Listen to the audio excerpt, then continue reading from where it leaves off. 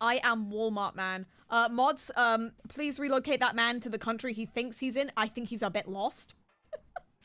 oh boy. Do you think this baby will ever know that they were in a Tesco's campaign? You could have been in a Tesco's campaign and you wouldn't even know it. How crazy is that? What a world we live in. Where else am I gonna get my regular food? Huh? Trick question, you're looking at it. You're looking at it.